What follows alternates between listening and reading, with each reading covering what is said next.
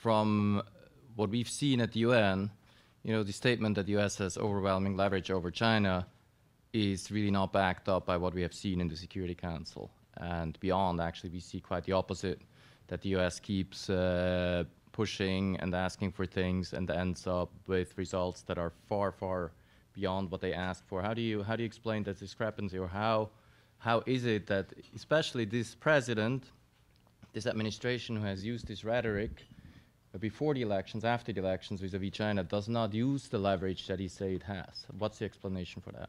That's a great question, and that goes to the core of the problem of American diplomacy, because I believe that American presidents have not used all the elements of national power to protect the American people, and I think history is going to judge some American presidents pr pretty poorly for that.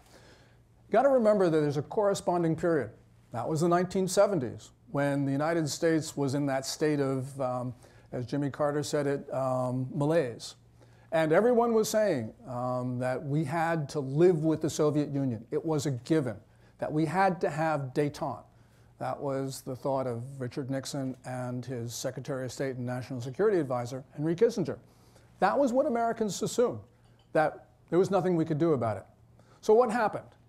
You have a president called Ronald Reagan who says, no, no, no, the Soviet Union is not a given. And what he does is he goes about undermining the Soviet Union. And as we all know, that uh, year after he left office, Soviet Union falls apart. So, yeah, the United States does not want to use its power. I understand that. And indeed, many people in this town and in Washington think we don't have that power. But you start to look at the underlying factors and it becomes inescapable that we have much more power than we think. The one thing we don't have is we don't have political will. But I understand the way you look at the United States, the way it interacts in the UN, yeah, we think we're weak, but in fact we are not. And as I said, I think history is going to judge some American presidents very poorly, not only with regard to North Korea, but with other uh, issues as well, for not using those elements of American power because of their perceptions.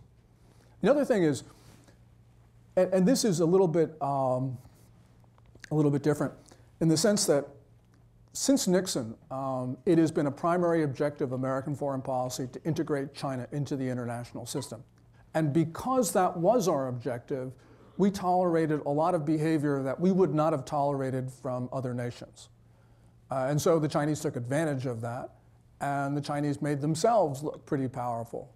Um, President Trump, however, has said, oh no, integrating the Chinese into the international system, that's not on my to-do list.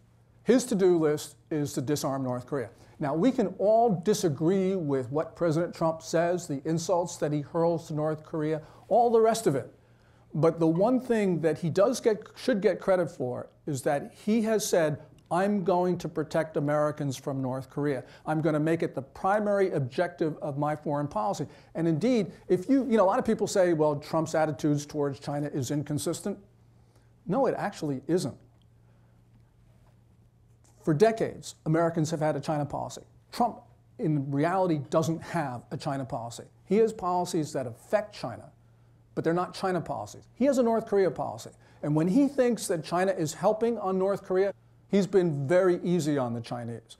But you go and look at that June 20 tweet where he expresses disappointment in Xi Jinping, you see the change in American policy um, with regard to China. And that's because he decided that Xi Jinping was foot dragging.